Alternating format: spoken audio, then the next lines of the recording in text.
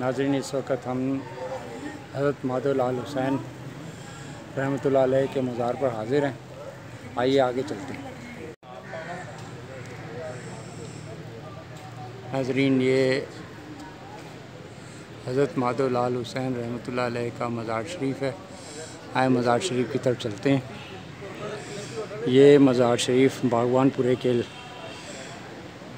में वाक़ है और ये देखें आप इनकी बहुत हिस्ट्री है, जो कि लाहौर के मशहूर बुज़ुर्गों में शुमार होते हैं।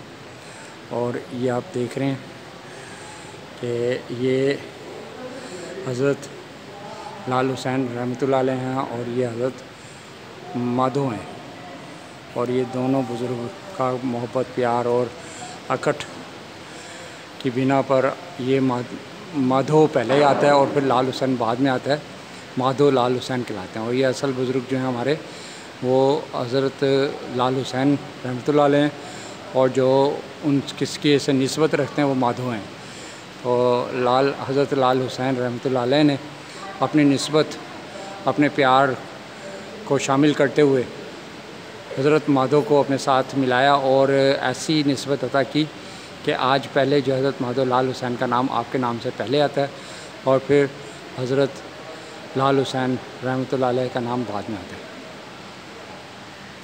ये देखिए, अब हम अंदर दाखिल होते हैं और ये देखिएगा, ये जारो कुशी कर रहे हैं, भाई जो हैं और ये हमारे ज़ायरीन आकर जो है यहाँ पर दरुद पाक ज़िक्र अस्कार कुरान पाक की तलावत और बैठे हैं और जो है यहाँ पर आकर जो है रूहानी सुकून पाते हैं।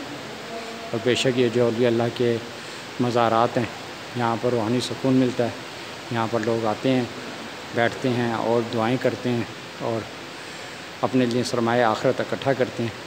और अगर अब हम थोड़ा बाहर को जाएँ तो हमें पता चलेगा कि ये माशाल्लाह साथ ही एक खूबसूरत सी मस्जिद तामीर है, जो कि हमारे बुज़ुर्गान की तालीमत को ज़ाहिर करती है कि हमारे बुज़ुर्गान दीन जो हैं, उन्होंने दीन की खूब खिदमत की और गैर मुस्लिमों को कलमा पढ़ाया और आज उनके मज़ारात के साथ जो है, मसाजिद तमीर हैं, जहाँ पर जो है, नमाजी हजरात आकर नमाज़ें अदा करते हैं, इबादत करते हैं और जिस तरीके से आपको मालूम है कि हमारे यहाँ मुख्तलिफ़ रातें जागने वाली होती हैं तो ज़ायरीन यहाँ पर खूब खूब आते हैं, नवाफिल अदा करते हैं और इनकी बर, और जो है, जो इनकी इबादतें से रूहानियत हासिल होती है, वो सारा का सारा उसको इन बुज़ुर्गों का फैश शुमार करते हैं।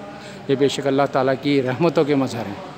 ये बुज़ुर्गान दीन जो हैं, कोई अल्लाह से दूर नहीं बिल्कुल अल्लाह के करीब होते हैं और अल्लाह की रहमतों के मज़हर होते हैं। तो अल्लाह ताला हमें बुज़ुर्गान दीन से मोहब्बत प्यार करने और इनके फ्यूज़ बरक़ात को हासिल करने की तोफ़ी अता फ़रमाए।